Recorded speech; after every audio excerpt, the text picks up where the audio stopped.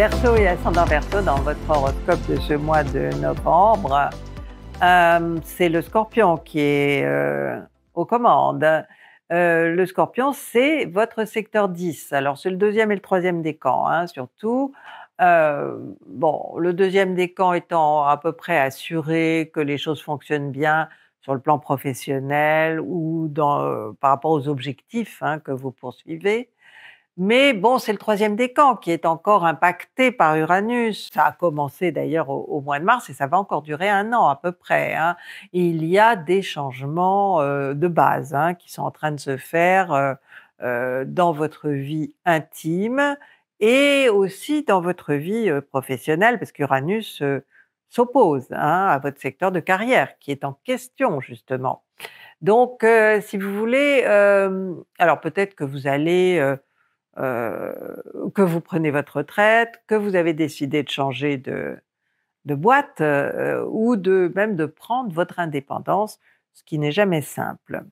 Après le 21, euh, avec le Soleil en Sagittaire, alors ça ira quand même, sera plus léger hein, et, et, certainement beaucoup plus agréable. C'est un secteur verso, donc vous serez à votre aise, Hein, euh, dans l'ambiance qui va régner. Vos projets prendront une meilleure tournure, tout avancera euh, plus rapidement. Premier décan, hein, en plus de ça, euh, bon, nous allons voir que vous serez certainement amené à devoir répondre à des sollicitations par rapport à des projets qui vous seront proposés.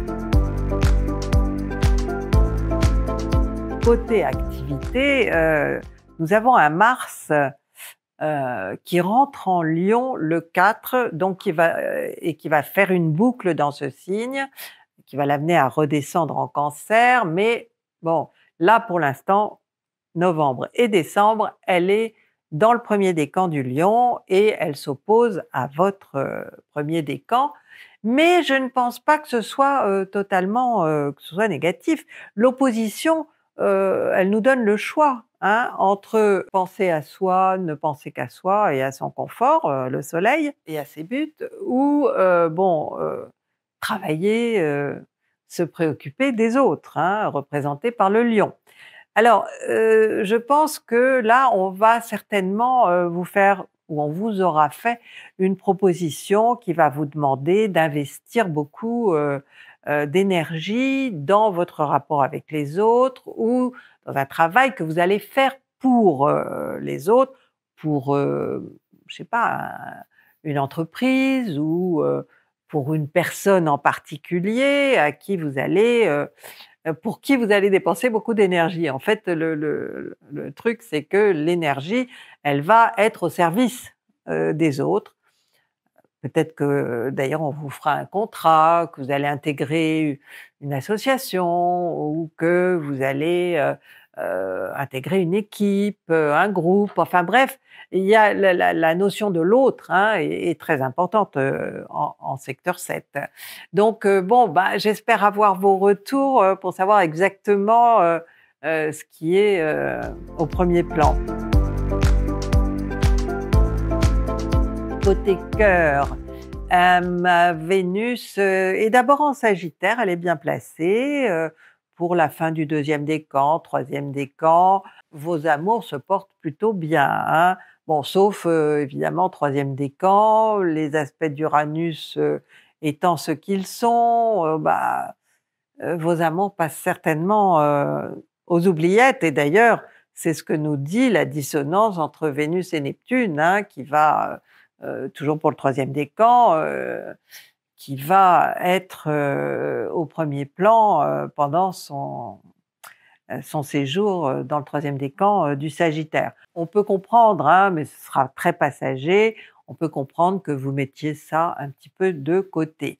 À partir du 11, Vénus occupera le Capricorne et là aussi, hein, vous mettrez encore vos amours de côté. Bon, toujours très peu de temps, hein, puisque Vénus est rapide. Pourquoi pas hein, À moins que vous, comme c'est votre secteur 12, que mmh, vous n'éprouviez des sentiments que vous cachez, que vous gardez pour vous, qui sont secrets pour quelqu'un qui n'est pas libre ou qui n'est pas vous ne pouvez pas atteindre. Hein.